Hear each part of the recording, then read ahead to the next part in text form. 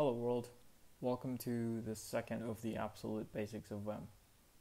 You can find the previous video linked in the top right where we stopped at changing stuff.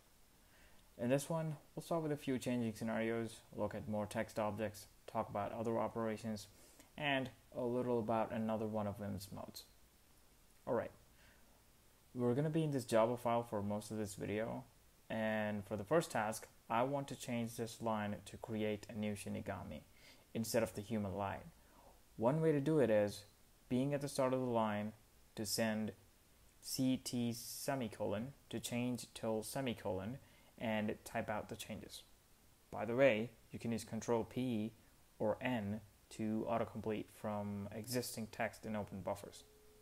Or let's first undo by pressing a U. The other way to go about achieving this is to change the first two words. So C2W and type Shinigami Rem.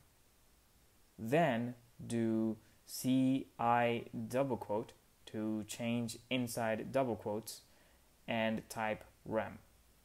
Then capital W to jump to the first character after space, CW to change word to new age, capital F, capital H to land on the H before the cursor, CW to change the word to Shinigami again.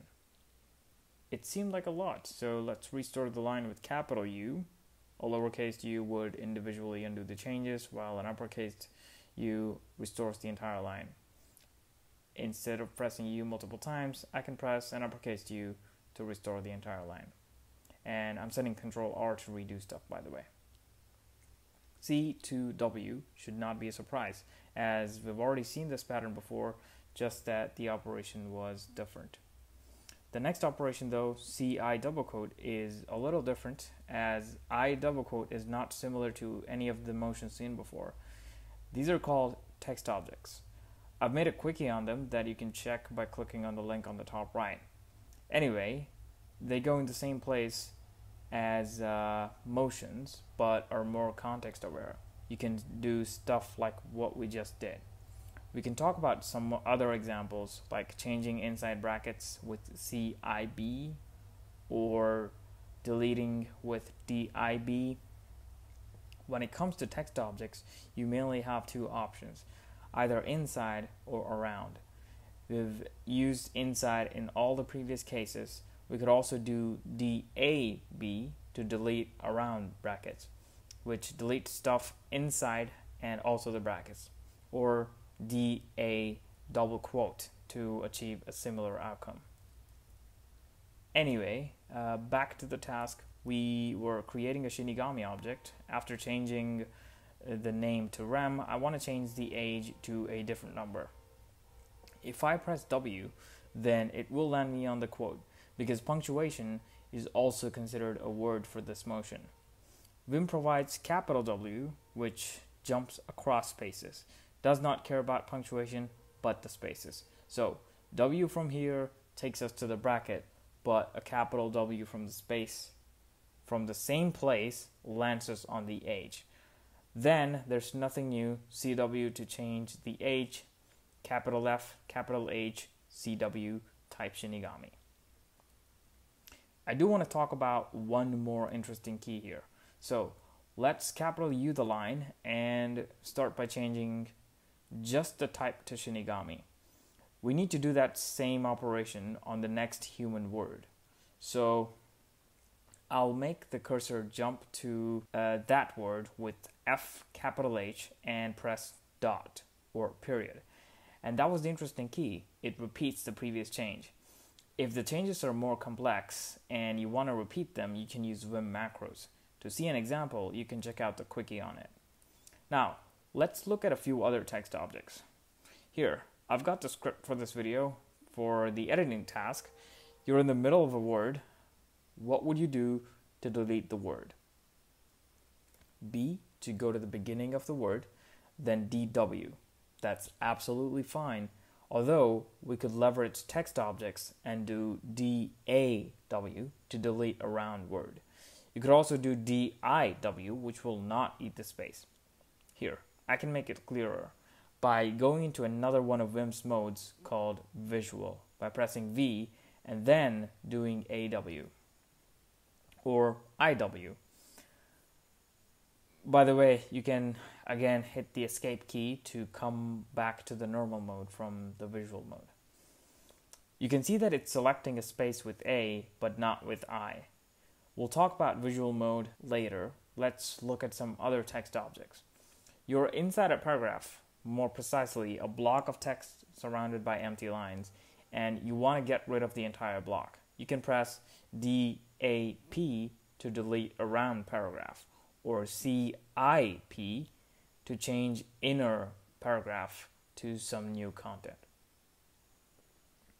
The differences between A and I variants remain similar, where A selects one of the white spaces, but I stays inside the object. You've got a load of other text objects that you can look up in the documentation. Colon H text objects. You can also find a few other examples in uh, the Vim Quickie about text objects. Now, let's talk about other operations, starting with copy pasting text. So, the key for copy is Y, not C, because it's already taken for change, and Y is for yank. So, just like the other operations, this one also takes a motion. I can do YW to yank a word, or Y4W to yank forwards. To paste stuff, you have to hit P. There's also capital P to put text before cursor, unlike the lowercase p that puts it after the cursor. Say you want to copy this entire line and paste it.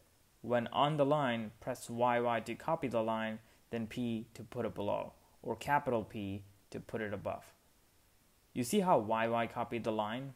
DD deletes the line, and surprise, surprise, CC changes the line. The pattern, if you press the operation key twice, Vim performs that operation on the line. If you do right angle bracket twice, which is uh, another operation to indent stuff, it indents the line. You could use the dedent operation, left angle bracket, on the text surrounded by curly braces by hitting left angle bracket I capital B to dedent one level all the lines surrounded by the curly braces. And on the same ground, Let's also look at the equal key, which is for fixing the indentation. Applying the same grammar again, can you guess the keys to fix the indentation of the lines inside this method? It is equal I capital B.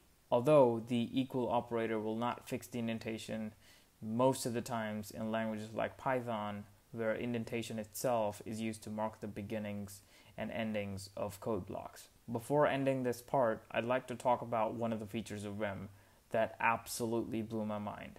So it's been about 8 minutes and 10 seconds since editing this file. If I want to restore this file to the way it was 8 minutes ago, I can do colon earlier 8m. After traveling back in time, if I wish to travel just a little ahead, I can do colon later 30 seconds. You can also travel by another unit, days, like earlier one day, or even later 365 days, and Vim will actually write the code for you. That brings us to the end of the part. I'll see you in the next one. Thanks for watching.